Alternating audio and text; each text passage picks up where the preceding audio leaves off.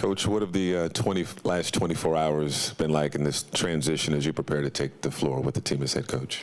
Uh, interesting. You know, we divvy up um, scouting opportunities to various coaches, and this so happened to be my game. So uh, I was in the midst of preparing for Chicago the last over the last week, and uh, so I was able to dive in a little bit more, uh, try to get a little rest, uh, communicate with a lot of people, and um, get myself ready for today.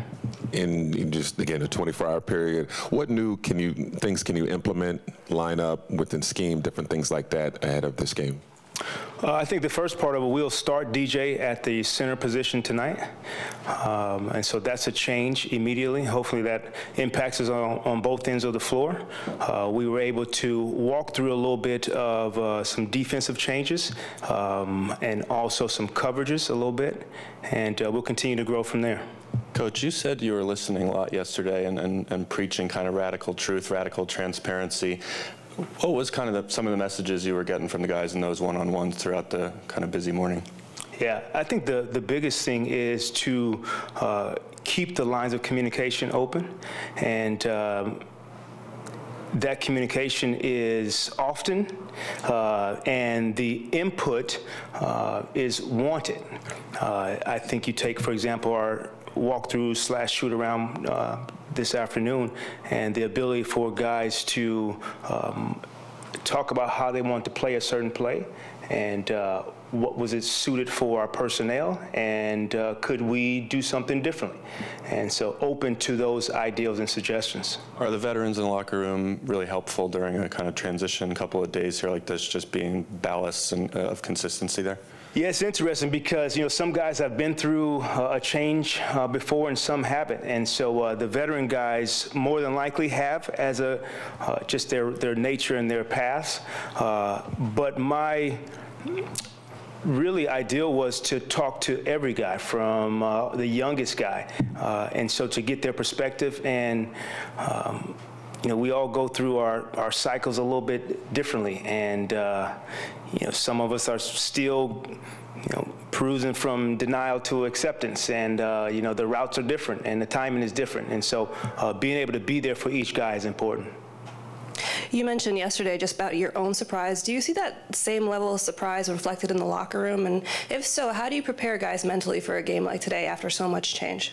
Yeah, quick turnaround. I think that's the one thing that at the end of the day, when you strip everything down, uh, guys are competitors. They enjoy playing the game of basketball. And at 3 o'clock today, they get that opportunity. And so I think they uh, dive in and accept the challenge and um, play for each other.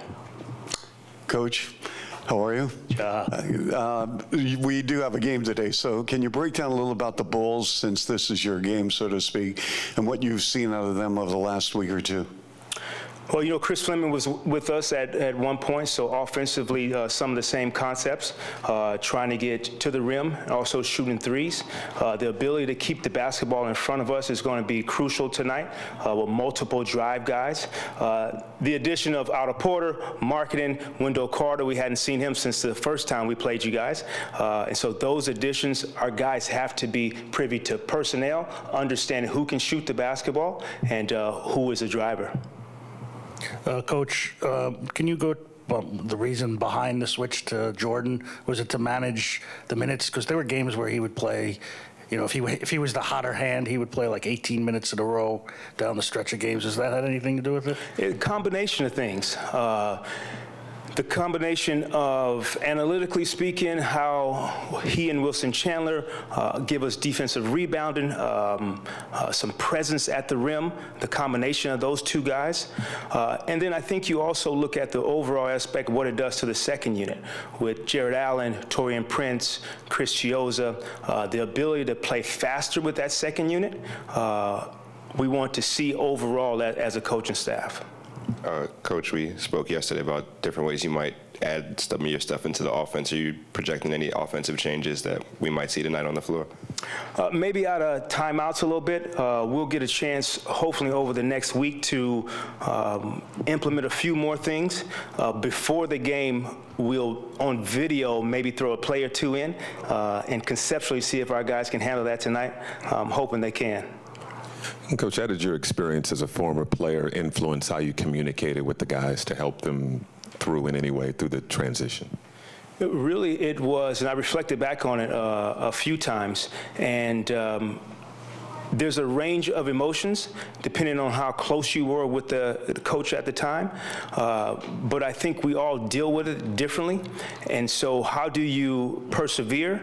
How do you surge on? Uh, there's an extreme amount of um, emotions, anxiety, pressure, all of the above that go with it. And uh, just encourage our, our guys to deal with it in their own way. There isn't one way to deal with it, uh, and the commonality is they'll get to play today. Jacque, you mentioned speaking point guard language yesterday, and then touch on Chiozza. Just what has he brought you guys in the last week, especially since his heroics in the Boston game? Speed. Uh, I think he has a, um, a fierceness about him that uh, he's able to battle and didn't mind him matchups throughout the course of the game, but his ability to put pressure uh, on the other end of the floor is, is huge for us. We want to continue to achieve easy baskets, and the ability to push the ball up the floor hopefully will help that. Uh, Jacque, you mentioned, you know, maybe implementing some things this week. You know, as you get rolling, is there, you know, a to-do list over this course of this week as you just kind of manage the transition and, and get everybody used to things? That was a big part of yesterday, so I challenged the staff to uh, uh, get a list of things that maybe they had been thinking about, that we had discussed, uh, some of those things that we'll continue to discuss going forward. Uh, but I think you'll see some changes. Uh, some things uh, will remain status quo. Um, but you take, for example, today we did shoot around on the main floor. Uh, little tweaks that hopefully our players respond to. Uh, but the assistant coaches are presently sending me more lists uh, as we speak. Thanks for watching ESPN on YouTube. For more sports highlights and analysis, be sure to download the ESPN app. And for live streaming sports and premium content, subscribe to ESPN Plus.